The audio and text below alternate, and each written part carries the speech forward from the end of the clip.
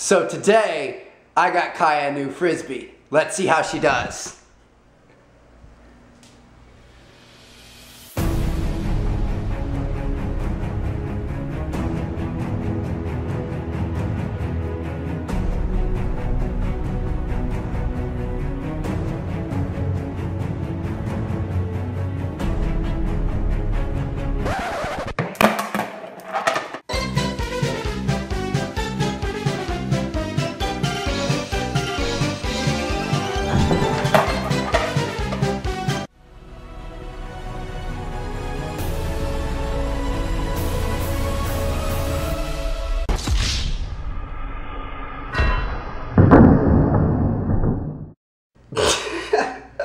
that didn't go so well, did it, Kya? That didn't go so well. You still got a lot to learn, huh, girl? She's actually way more interested in jumping in the pool.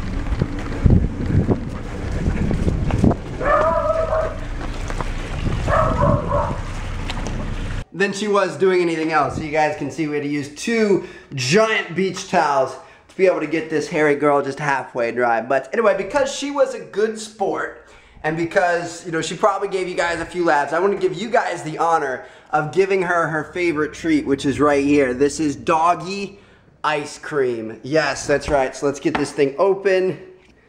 I wonder, I kind of wonder how it tastes. Oh, that's, oh, oh, that, I don't know how she likes that. I have never done that before. I want to do it live on camera. Oh my gosh, hold on. Mm. Oh, that was gross. That tastes like exactly like dog food, except it's cold. All right, girl. You see this? Isn't that your favorite treat? Yeah, you are a good girl today. You are a good sport. Let's put you guys down. And go ahead and put this thing in there. Hopefully we can get it out. Oh, she's excited. Kya's excited. Ah, we're gonna need scissors, Kya. One sec, guys.